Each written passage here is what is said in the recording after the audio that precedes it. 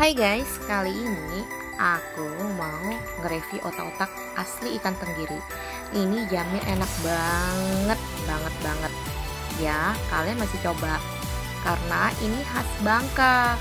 Otak-otak ini harganya hanya 5000 per pieces Dan tuanya sambalnya kacang. Kalian masih coba ya guys? Karena dijamin deh Kalau yang udah nyobain Pasti ketagihan. Oke. okay.